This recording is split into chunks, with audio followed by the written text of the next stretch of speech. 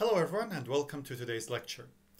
Today we will look at various applications of planarity and Euler's formula. So remember last time we saw this formula by Euler that if a graph is connected and a plane graph, so you can draw it on the plane without crossings, then the number of vertices, edges and faces satisfy this equation.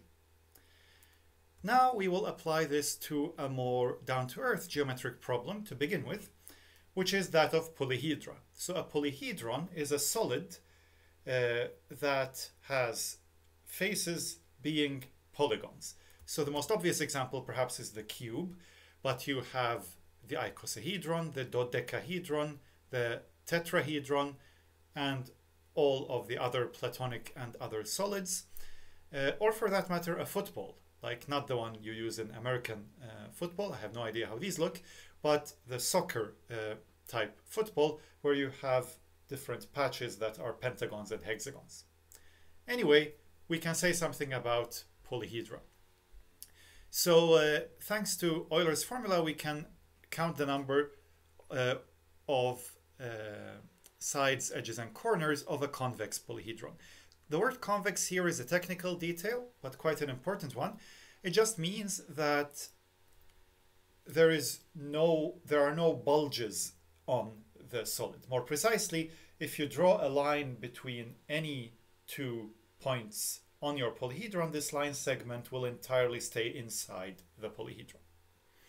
So uh, what does this have to do with Euler's formula? Well, you can represent such a polyhedron as a graph. We've done this with the cube and it looks like this. So you put vertices where you have the corners, the edges are edges. And now you have such a graph, you can put it inside a sphere and project it onto the sphere. So you can circumscribe it in a sphere, and then you get a graph that you can draw on a sphere, and you will not have any edge crossings because you don't have any crossings between the edges of a polyhedron when you see it as a solid. So you get a graph that you can draw without crossings on a sphere.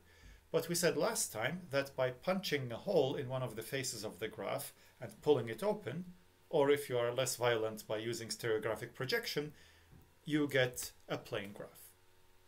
So a polyhedron gives you a plane graph. And therefore we can use Euler's formula for polyhedron. To make things precise, we define something that is called a polyhedral graph, So a polyhedral graph is a graph that is three vertex connected and where each face is bounded by a polygon. Uh, this three vertex connected is uh, seemingly coming out of nowhere. One can show that this is equivalent that, it, that the graph comes exactly from the kind of polyhedron we were looking at. But we will not go into the details of this. The point is that if you have a polyhedral graph with n vertices, m edges, and f faces, since it is in particular connected and plane, it will satisfy Euler's formula. If you want to write this specifically in terms of the polyhedron itself, then this says that if you have a convex polyhedron with n vertices, m edges, and f sides, then n minus m plus f is equal to 2, which is probably the more classically uh, known theorem as Euler's formula.